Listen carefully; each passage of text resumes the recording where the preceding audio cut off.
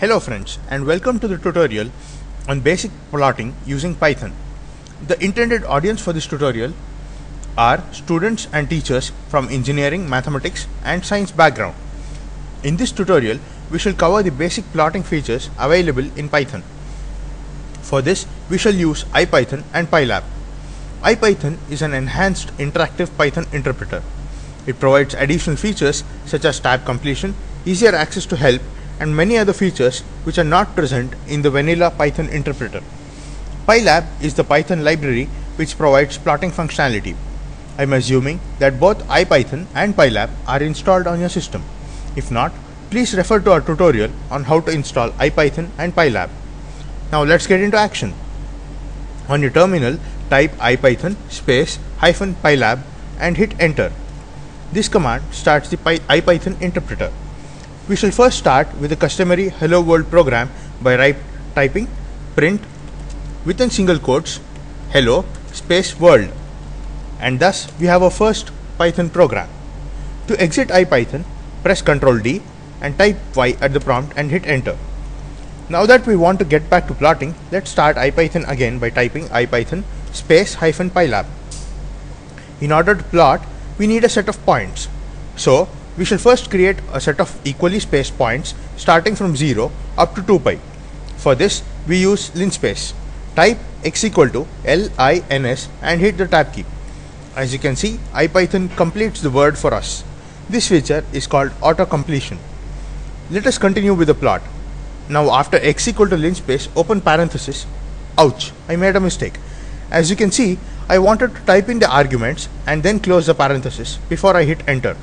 But I accidentally hit the enter key and IPython gave me a different prompt. To get back to the previous prompt, press Ctrl C. Now type x equal to linspace 0 comma 2 star pi comma 100 within parenthesis and hit enter.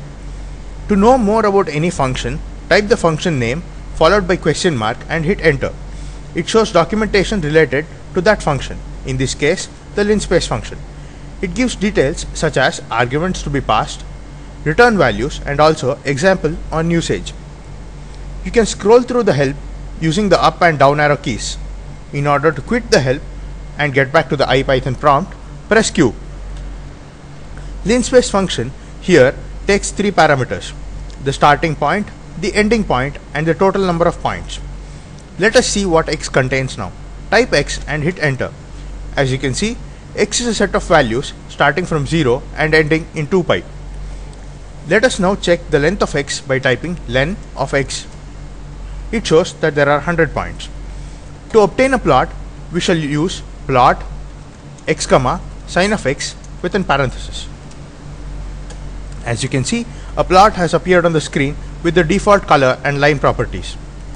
Here we have used two special terms, pi and sine. Both of these come from the Pylab. Now that we have a basic plot, we shall label and title the plot. X label within quotes X labels the X axis. Similarly, for the Y axis, we use Y label within quotes sine of X. After naming the X and Y axis, we shall title the figure using the title command. Title within quotes sine space plot. This produces a title on the figure. Now that we have a title, we shall give a legend to the plot as well using legend within square brackets within quotes sine of x. As you can see, the legend appears at the top right corner. What if I want to place the legend at a different location? For this, first get to the previous command using the up arrow key and add another parameter by giving comma after the square brackets and type LOC equal to within quotes center. This places the legend at the center. The other positions available are best and right. Very often in mathematical plots, we need to name certain points and these are called annotations. We shall annotate a particular point in this plot. This can be done using the command annotate. Annotate within quotes origin, comma, xy equal to within brackets 0 comma 0. This shall annotate the point 0 comma 0 with the string origin. The first argument is the comment string and the second argument is the position for it. As you can see, there is a blank space after the at the end of the plot along the x-axis. Also, y-axis grazes the plot. In order to make it look better, I would want the x-axis to end at 2 pi and I would want the y-axis to include the little more of space. For this, we use xlim to define the boundaries of x-axis. xlim 0, comma 2 star pi. Now the limits of the x-axis are set. Similarly, ylim within uh, parenthesis minus 1.2, comma 1.2. This sets the boundaries of the y-axis and the graph fits more precisely. Now since we have done so much, we would want to save the figure. We save the figure using savefig within quotes name of the file. Here sine.png. This saves the figure in the current working directory under the name sine.png. The format of the figure is taken from the extension given in the name. The other supported formats are EPS, PS and PDF. Let us see what happens when we use plot again. Plot x comma cos of x. As you can see, by default the plots get overlaid. We can now update the y-axis label with y label within quotes f of x. In these kind of situations where plots are overlaid, legend becomes absolutely essential. To specify multiple plots in legends, we pass multiple names within quotes separated by commas and enclosed within square brackets as shown. Sine of x, comma, cos of x.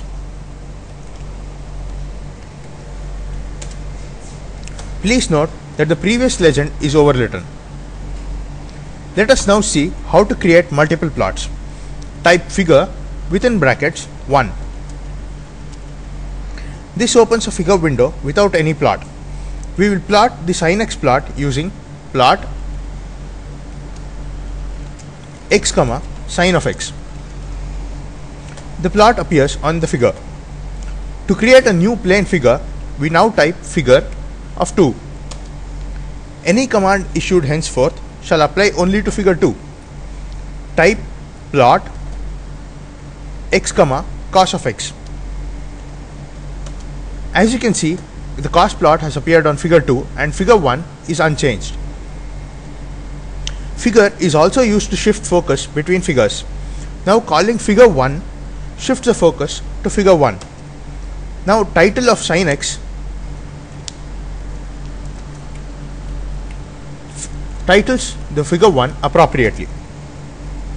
Now if we save the plot in figure 1 using savefig within quotes sine.png close closes figure 1 now that there is just one figure the focus is automatically shifted to figure 2 close now closes figure 2 if you observe the color of the plot and the width of the plot they were set by IPython itself and we did not choose them. What if we want to plot a color in a color of our interest and we want to choose other attributes of plot as well? This is possible by passing additional attributes to the plot command.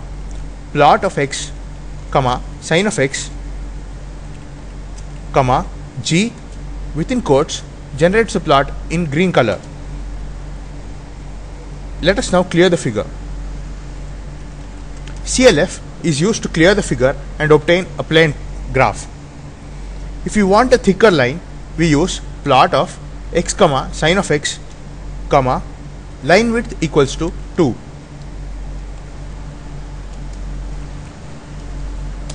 as you can see the line is a little thicker. Let us now clear the figure using CLF what if we want to plot points instead of lines to achieve this we pass an additional parameter called dot to plot plot x comma sine of x within quotes dot You can read more attributes of plot by reading the documentation of plot by typing plot question mark and hit enter. We can see the numerous options available and the various combinations possible. Let's get back to the IPython shell by pressing Q. Let us now close the figure and exit the IPython shell. This brings us to the end of this tutorial. In this tutorial, We have learned how to start and quit IPython, some IPython features such as auto completion and help. We also learned how to create simple plots, overlaying plots, and plotting in different figures. We learned how to add legends, labels, and annotations. And finally, how to change the looks of the plot using colors and line width. This brings us to the end of the first tutorial in the series Python for Scientific Computing. This tutorial was created by the FOSSEE team at IIT Bombay under the FOSSEE project that is funded by NME through ICT from MHRD, Government of India. Hope you have enjoyed it and found it useful. Thank you.